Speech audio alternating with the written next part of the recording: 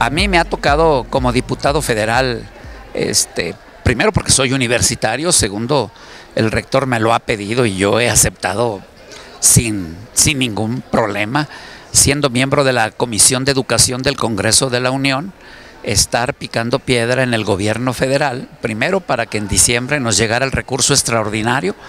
Allí me tocó el día 19 de septiembre, teníamos menos de un mes de haber llegado y me tocó subir el punto como un punto de urgente y obvia resolución para atender el problema de las 10 universidades que tenían esa situación financiera.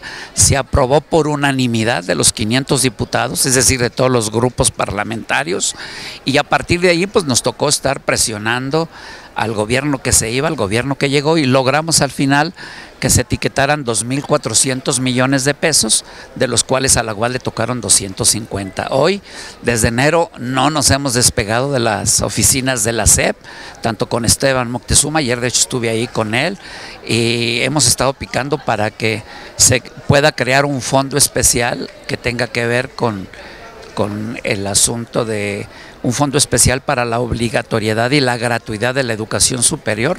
El punto ya se presentó Hacienda, va muy bien y yo creo que ese fondo especial le puede ayudar bastante a la UAS para ir saneando el asunto que tiene más de 30 años y que es muy sencillo. El problema de la UAS es que tiene una plantilla de profesores, fundamentalmente la de profesores, hora clase, medio tiempo y tiempo completo, que desde 1995 no ha variado.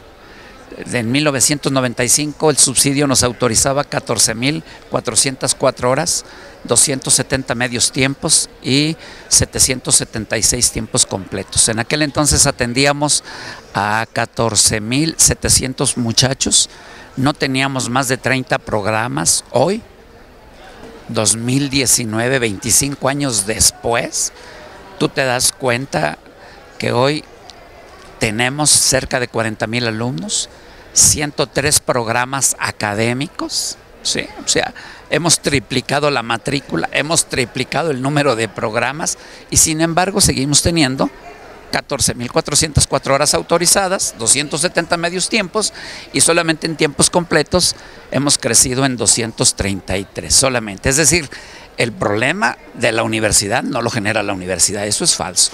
El problema de la universidad lo genera el gobierno federal y el gobierno del Estado. El gobierno federal por no querer reconocer las el número de plazas de acuerdo al número de programas que ha crecido y al número de la matrícula que ha crecido.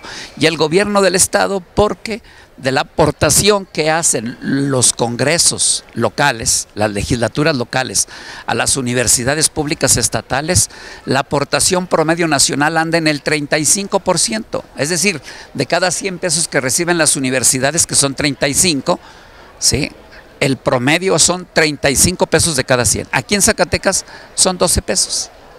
Entonces, efectivamente, la solución del problema es que el gobierno federal reconozca, si no todas, por lo menos entre en un proceso gradual de reconocimiento de las plazas y dos, que el gobierno, el gobierno del Estado entre en un proceso de irle subiendo la aportación pues del 12 al 16, del 16 al 20, de tal manera que por lo menos en los próximos 6, 8 años lleguen al 35%.